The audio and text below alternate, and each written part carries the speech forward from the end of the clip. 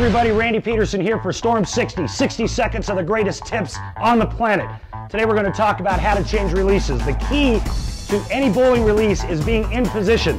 We want the hand on the inside part of the bowling ball at the bottom of the swing. That way you can dictate how the ball comes out of your hand.